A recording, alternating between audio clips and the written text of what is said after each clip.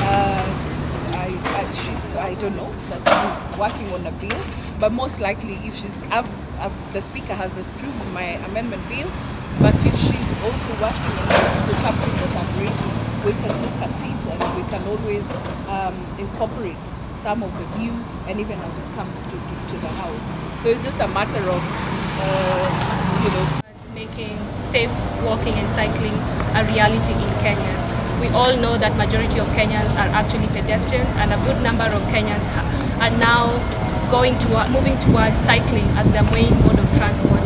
Uh, but unfortunately, the Traffic Act as it is does not protect uh, pedestrians and cyclists. So we've been left vulnerable on the roads.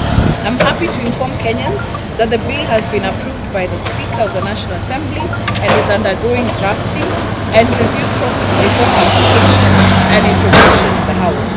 It shall mainly focus on amending the Kenya Roads Act to hasten the pri- and prioritize non-motorized transport systems through the exploration of holistic national legislation someone's husband, someone's wife.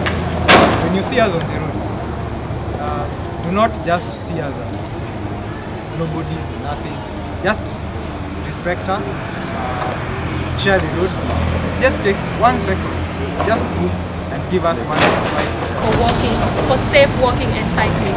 As you've heard, we do have some developments uh, in Nairobi and other cities where we have some NMT coming up, but the NMT is not up to standard. You find it ends somewhere.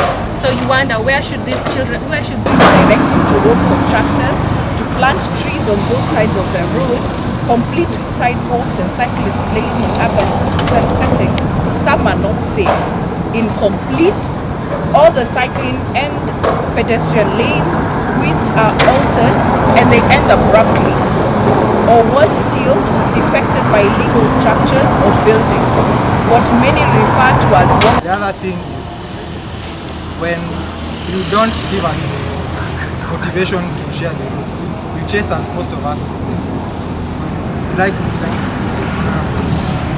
President for enabling this uh, this like, uh,